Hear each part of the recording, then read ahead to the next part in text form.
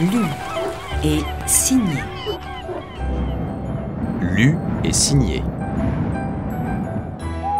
Lu Et signé.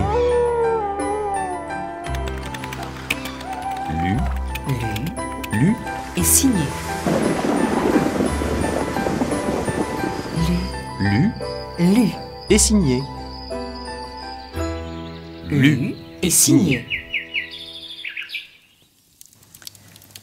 Cafetière, Théophile Gautier, 1831.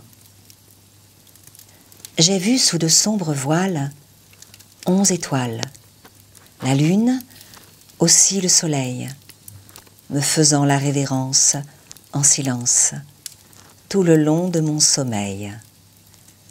La vision de Joseph. Chapitre 1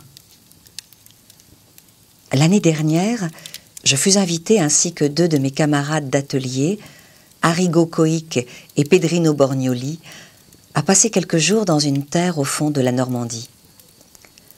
Le temps, qui à notre départ promettait d'être superbe, s'avisa de changer tout à coup. Et il tomba tant de pluie que les chemins creux où nous marchions étaient comme le lit d'un torrent. Nous enfoncions dans la bourbe jusqu'aux genoux. Une couche épaisse de terre grasse s'était attachée aux semelles de nos bottes, et par sa pesanteur ralentissait tellement nos pas que nous n'arrivâmes au lieu de notre destination qu'une heure après le coucher du soleil. Nous étions harassés. Aussi, notre hôte, voyant les efforts que nous faisions pour comprimer nos bâillements et tenir les yeux ouverts, aussitôt que nous eûmes soupé, nous fit conduire chacun dans notre chambre. La mienne était vaste. Je sentis en y entrant comme un frisson de fièvre, car il me sembla que j'entrais dans un monde nouveau. En effet, l'on aurait pu se croire au temps de la Régence, à voir les dessus de portes de boucher représentant les quatre saisons, les meubles surchargés d'ornements de rocaille du plus mauvais goût et les trumeaux des glaces sculptées lourdement. Rien n'était dérangé. La toilette couverte de boîtes à peigne, de houppes à poudrer, paraissait avoir servi la veille.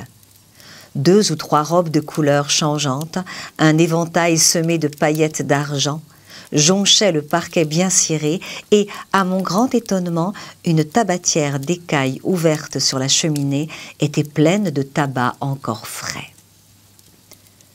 Je ne remarquais ces choses qu'après que le domestique, déposant son bougeoir sur la table de nuit, m'eût souhaité un bon somme.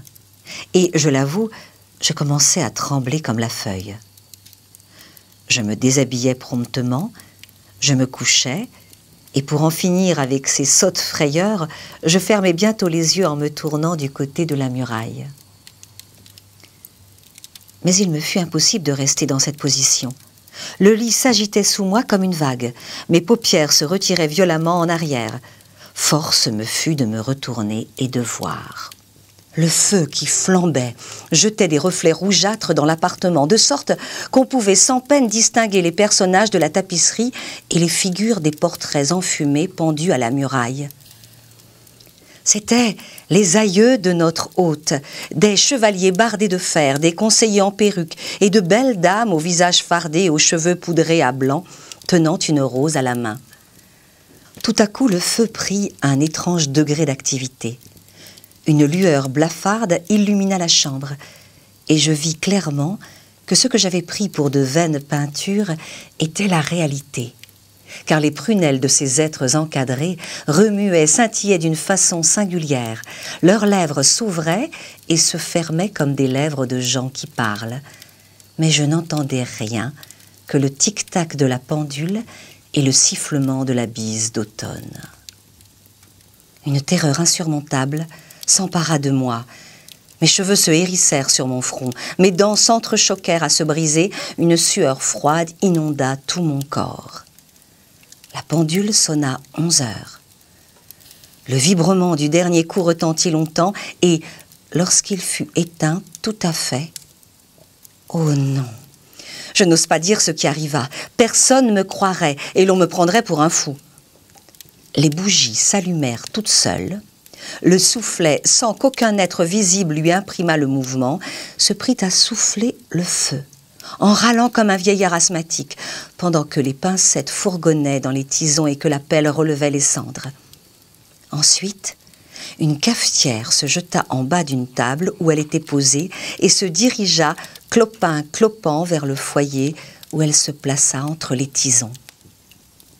Quelques instants après, les fauteuils commencèrent à s'ébranler et, agitant leurs pieds d'ortiller d'une manière surprenante, vinrent se ranger autour de la cheminée. Chapitre 2 Je ne savais que penser de ce que je voyais, mais ce qui me restait à voir était encore bien plus extraordinaire.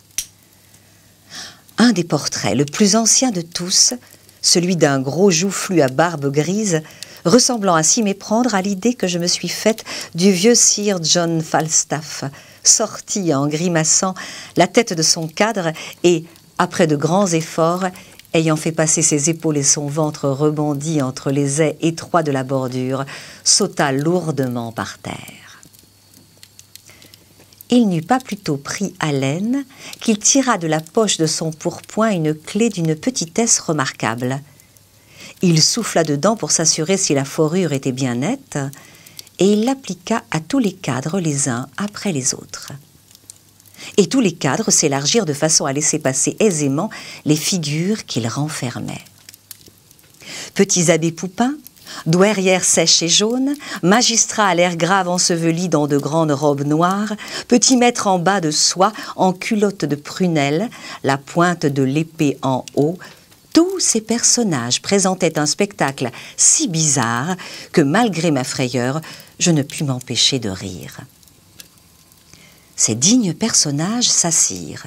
La cafetière sauta légèrement sur la table, ils prirent le café dans des tasses du Japon, blanches et bleues, qui accoururent spontanément de dessus d'un secrétaire, chacune d'elles munie d'un morceau de sucre et d'une petite cuillère d'argent. Quand le café fut pris, tasse, cafetière et cuillère disparurent à la fois, et la conversation commença. Certes, la plus curieuse que j'ai jamais ouïe, car aucun de ces étranges causeurs ne regardait l'autre en parlant. Ils avaient tous les yeux fixés sur la pendule. Je ne pouvais moi-même en détourner mes regards et m'empêcher de suivre l'aiguille qui marchait vers minuit à pas imperceptibles. Enfin, minuit sonna. Une voix dont le timbre était exactement celui de la pendule se fit entendre et dit ⁇ Voici l'heure, il faut danser !⁇ Toute l'assemblée se leva. Les fauteuils se reculèrent de leur propre mouvement. Alors, chaque cavalier prit la main d'une dame et la même voix dit Allons, messieurs de l'orchestre, commencez. J'ai oublié de dire que le sujet de la tapisserie était un concerto italien d'un côté et de l'autre une chasse aux cerfs où plusieurs valets donnaient du corps. Les piqueurs et les musiciens qui jusque-là n'avaient fait aucun geste inclinèrent la tête en signe d'adhésion le maestro leva sa baguette et une harmonie vive et dansante s'élança des deux bouts de la salle. On dansa d'abord le menuet. Mais les notes rapides de la partition exécutée par les musiciens s'accordaient mal avec ces graves révérences. Aussi chaque couple de danseurs, au bout de quelques minutes, se mit à pirouetter comme une toupie d'Allemagne. Les robes de soie des femmes, froissées dans ce tourbillon dansant, rendaient des sons d'une nature particulière. On aurait dit le bruit d'ailes d'un vol de pigeons. Le vent qui s'engouffrait par-dessus les gonflait prodigieusement, de sorte qu'elles avaient l'air de cloches en branle. L'archet des virtuoses passait si rapidement sur les cordes qu'il en jaillissait des étincelles électriques. Les doigts des flûteurs se haussaient et se baissaient comme s'ils eussent été de vif argent. Les joues des piqueurs étaient enflées comme des ballons, et tout cela formait un déluge de notes et de trilles si pressées, et de gammes ascendantes et descendantes, si entortillées, si inconcevables, que les démons eux-mêmes n'auraient pu deux minutes suivre une pareille mesure. Aussi, C'était pitié de voir tous les efforts de ces danseurs pour rattraper la cadence. Ils sautaient, cabriolaient, faisaient des ronds de jambes, des jetés battus et des entrechats de trois pieds de haut, tant que la sueur, leur coulant du front sur les yeux, leur emportait les mouches et le phare. Mais ils avaient beau faire, l'orchestre les devançait toujours de trois ou quatre notes. La pendule sonna une heure. Ils s'arrêtèrent. Je vis quelque chose qui m'était échappé, une femme qui ne dansait pas. Elle était assise dans une bergère au coin de la cheminée et ne paraissait pas le moins du monde prendre part à ce qui se passait autour d'elle. Jamais, même en rêve, rien d'aussi parfait ne s'était présenté à mes yeux. Une peau d'une blancheur éblouissante, des cheveux d'un blond cendré, de longs cils et des prunelles bleues si claires et si transparentes que je voyais son âme à travers aussi distinctement qu'un caillou au fond d'un ruisseau. Et je sentis que si jamais il m'arrivait d'aimer quelqu'un, ce serait elle. Je me précipitais hors du lit, d'où jusque-là je n'avais pu bouger. Et je me dirigeais vers elle, conduit par quelque chose qui agissait en moi sans que je puisse m'en rendre compte. Et je me trouvais à ses genoux, une de ses mains dans les miennes, causant avec elle comme si je l'eusse connue depuis vingt ans. Mais, par un prodige bien étrange, tout en lui parlant, je marquais d'une oscillation de tête la musique qui n'avait pas cessé de jouer, et quoique je fusse au comble du bonheur d'entretenir une aussi belle personne, les pieds me brûlaient de danser avec elle. Cependant, je n'osais lui en faire la proposition. Il paraît qu'elle comprit ce que je voulais, car, levant vers le cadran de l'horloge la main que je ne tenais pas, quand l'aiguille sera là, nous verrons, mon cher Théodore. Je ne sais comment cela se fit. Je ne fus nullement surpris de m'entendre ainsi appelé par mon nom, et nous continuâmes à causer. Enfin, l'heure indiquée sonna. La voix au timbre d'argent vibra encore dans la chambre et dit Angela, vous pouvez danser avec monsieur, si cela vous fait plaisir, mais vous savez ce qui en résultera. N'importe, répondit Angela d'un ton boudeur, et elle passa son bras d'ivoire autour de mon cou. Prestissimo cria la voix. Et nous commençâmes à valser. Le sein de la jeune fille touchait ma poitrine, sa joue veloutée effleurait la mienne, et son haleine suave flottait sur ma bouche. Jamais de la vie je n'avais éprouvé une pareille émotion. Mes nerfs tressaillaient comme des ressorts d'acier, mon sang coulait dans mes artères en torrents de lave, et j'entendais battre mon cœur comme une montre accrochée à mes oreilles. Pourtant cet état n'avait rien de pénible. J'étais inondée d'une joie ineffable et j'aurais toujours voulu demeurer ainsi, et chose remarquable, quoique l'orchestre eût triplé de vitesse, nous n'avions besoin de faire aucun effort pour le suivre. Les assistants, émerveillés de notre agilité, criaient bravo et frappaient de toute leur force dans leurs mains qui ne rendaient aucun son. Angela, qui jusqu'alors avait valsé avec une énergie et une justesse surprenantes, parut tout à coup se fatiguer.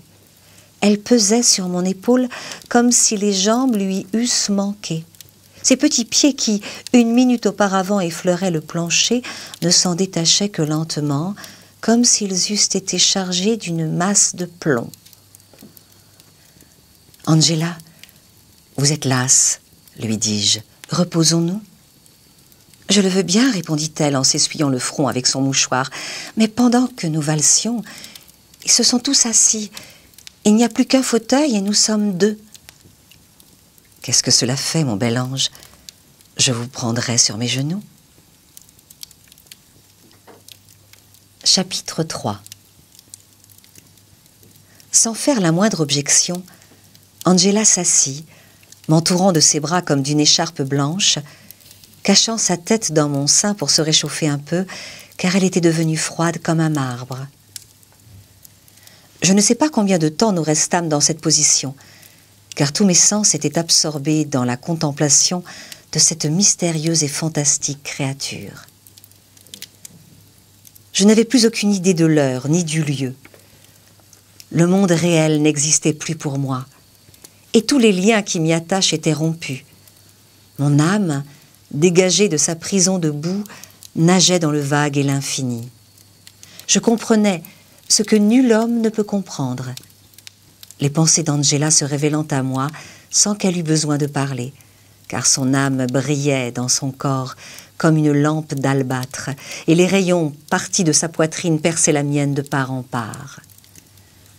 L'alouette chanta, une lueur pâle se joua sur les rideaux. Aussitôt qu'Angela l'aperçut, elle se leva précipitamment, me fit un geste d'adieu et, après quelques pas, poussa un cri et tomba de sa hauteur. Saisi d'effroi, je m'élançai pour la relever. Mon sang se fige rien que d'y penser. Je ne trouvais rien que la cafetière brisée en mille morceaux. À cette vue, persuadée que j'avais été le jouet de quelque illusion diabolique, une telle frayeur s'empara de moi que je m'évanouis. Chapitre 4 Lorsque je repris connaissance, j'étais dans mon lit. Arrigo Coic et Pedrino Borgnoli se tenaient debout à mon chevet. Aussitôt que j'eus ouvert les yeux, Arrigo s'écria Ah ce n'est pas dommage. Voilà bientôt une heure que je te frotte les tempes d'eau de Cologne. Que diable as-tu fait cette nuit? Ce matin, voyant que tu ne descendais pas, je suis entré dans ta chambre et je t'ai trouvé tout du long étendu par terre, en habit à la française, serrant dans tes bras un morceau de porcelaine brisé, comme si c'eût été une jeune et jolie fille. Par Dieu c'est l'habit de noces de mon grand-père, dit l'autre en soulevant une des basques de soie fond rose à ramage vert. Voilà les boutons de strass et de filigrane qu'il nous vantait tant. Théodore l'aura trouvé dans quelque coin et l'aura mis pour s'amuser. Mais à propos de quoi t'es-tu trouvé mal? Ajouta Borgnoli. Cela est bon pour une petite maîtresse qui a des épaules blanches, on la délace, on lui ôte ses colliers, son écharpe, et c'est une belle occasion de faire des minauderies. Ce n'est qu'une faiblesse qui m'a pris. Je suis sujet à cela, répondis-je sèchement. Je me levai, je me dépouillai de mon ridicule accoutrement, et puis l'on déjeuna. Mes trois camarades mangèrent beaucoup et burent encore plus. Moi, je ne mangeais presque pas. Le souvenir de ce qui s'était passé me causait d'étranges distractions. Le déjeuner fini, comme il pleuvait à verse, il n'y eut pas moyen de sortir. Chacun s'occupa comme il put. Borgnoli tambourina des marches guerrières sur les vitres. Arrigo et l'hôte firent une partie de dames. Moi, je tirai de mon album un carré de vélin et je me mis à dessiner. Les linéaments presque imperceptibles tracés par mon crayon, sans que j'y eusse songé le moins du monde, se trouvait représentée avec la plus merveilleuse exactitude la cafetière qui avait joué un rôle si important dans les scènes de la nuit. C'est étonnant comme cette tête ressemble à ma sœur Angela, dit l'hôte, qui, ayant terminé sa partie, me regardait travailler par-dessus mon épaule. En effet, ce qui m'avait semblé tout à l'heure une cafetière était bien réellement le profil doux et mélancolique d'Angela de par tous les saints du paradis, est-elle morte ou vivante? m'écriai-je d'un ton de voix tremblant, comme si ma vie eût dépendu de sa réponse. Elle est morte, il y a deux ans, d'une fluxion de poitrine à la suite d'un bal. Hélas, répondis-je douloureusement, et, retenant une larme qui était près de tomber, je replaçai le papier dans l'album je venais de comprendre qu'il n'y avait plus pour moi de bonheur sur la terre.